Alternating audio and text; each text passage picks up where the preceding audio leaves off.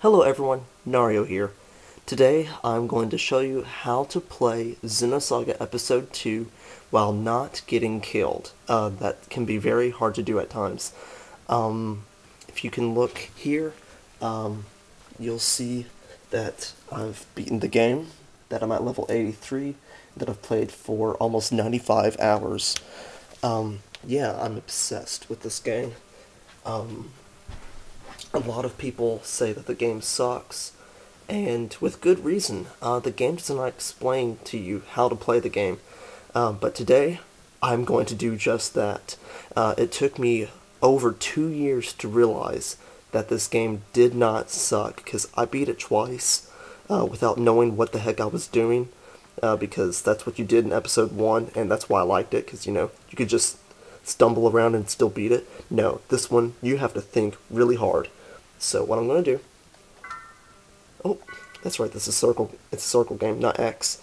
Um, and what I'm gonna do is take you to Sakura's domain because that's where a lot of people died at, and with good reason. Uh, Albedo at the end of Sakura's winter domain was just insanely hard. In fact, I'm going to say that he was the hardest boss fight uh, in the whole storyline.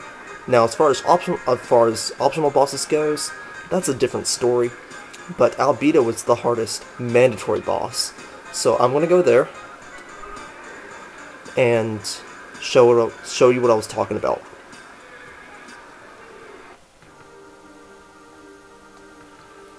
Now, first off, there are some things I need to cover.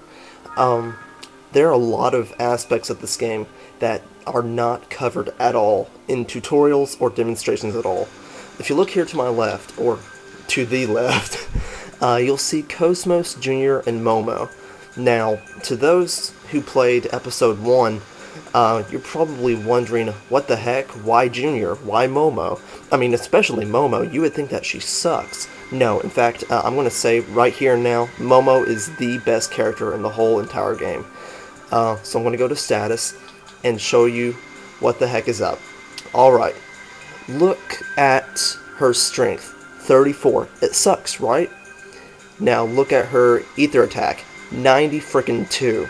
Look at everyone else's uh, ether attack, 86, 87, 83, 45, 89, 87, she has the highest ether attack in the whole game. Now let's look at everyone else's strength. 88, 89, 88, 94, 81, and 45. The only one who can compete with Momo is Ziggy. However, his attack is fire-based and cannot um, hurt any enemies in the air. So he's useless. He really is. Uh, he's one of the worst uh, characters in this game, and yet he has the highest strength stat, which is really weird. Um, of course, you're probably wondering how the heck this works in the end. Um, and that's what I'm going to get to next. So let's focus on Momo. She has Ether Attack of 92. So why is that so awesome? Well, if you look here, when you go into tech, you'll see that Robin, Lark, and Sparrow are all ether based. So when you choose to regularly attack, you are not attacking with physical strength you are attacking with ether strength. In that case, she's doing the most damage, uh, and her attacks are not elemental at all, so um, she won't be like breaking combos or whatever. So, with that said, I'm going to get into a random battle. Well, I guess just an encounter, because they're not exactly random. Might as well be, though, because the traps don't work in this game.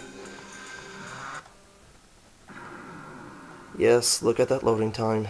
That loading screen sucks. Alright.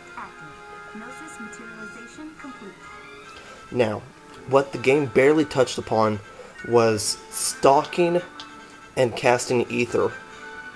Well, there's one skill that they never ever mentioned. It is probably one of the most important skills in the whole entire game. Analyze. I'm not freaking kidding. Analyze usually costs 2 MP, but uh, Momo, she's currently wearing something that costs um, double EP per attack, which also doubles her ether attack itself. So she's doing twice as much damage as usual um, with this ether doubler. It's kind of like that one thing that uh, Elly wears in Xenogears, um, with like the gears or whatever. Uh, so analyze. I'm going to use analyze on this catharsis. Uh, you all probably used Ziggy or Shion against these and just sucked terribly. I know, I did the same thing. Gosh, her voice is so awful in this game. Funny how the same voice actor did the same voice in 3 and didn't suck. Anyways, if you look here, you'll see that by using Analyze, you'll see that it's weak versus ether attacks, and it's also weak against fire. Well, we know that uh, Momo's attacks are ether based, and we also know that Ziggy's are fire based. However, we are not ever going to get rid of KOS-MOS Jr. or Momo because they are so awesome. So we're not going to switch out to Ziggy. Uh, what we are going to do, however, um, first I'm going to explain the icons on the screen. If you look to the bottom left, you'll see square, square, square, triangle, all that good stuff. Um, you all probably just ignored the icons to the right of those and uh, never paid attention to them. Well, if you look here, this is physical, which means, you know, his attacks are physical based, not ether based. You'll also see that these are aerial, so he can attack uh, enemies that are aired. And it's just a gun, so uh, it's a projectile. He can shoot from anywhere and shoot anywhere. So what I'm going to do is stock him up. That's what you want to do in this game. Just stock, stock, stock. And they're getting two because of some awesome ability I have. That allows me to get two uh, at 50%. They could either get one or they could either get two. Works either way. Okay, so now that everyone is stocked up and I have a boost meter of 3, um, what I'm going to do is now cast Fire Sword on everyone.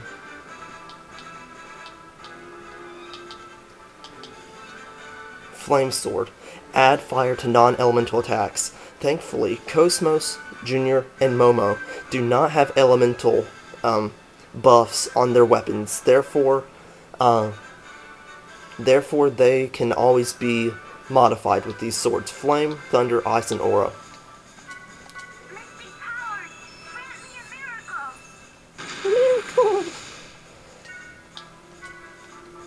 Cast flame sword on him on him as well.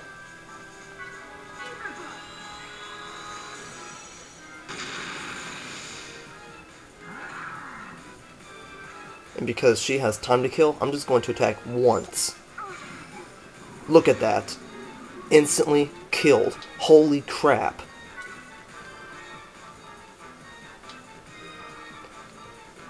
So what I'm going to do now is cast Flame Sword on her.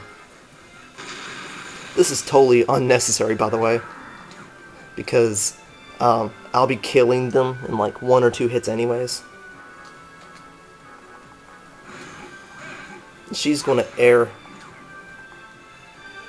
uh, that enemy. Now that it's aired, you can just unleash with Momo. Look at that crap. Holy freaking crap. You see that? Yeah. That's why Momo is so awesome. Well, I hope I've explained uh, how to play this game and beat this game because that is the only way you will win uh, very easily. Um, it takes time, but I promise you can do it. Have fun!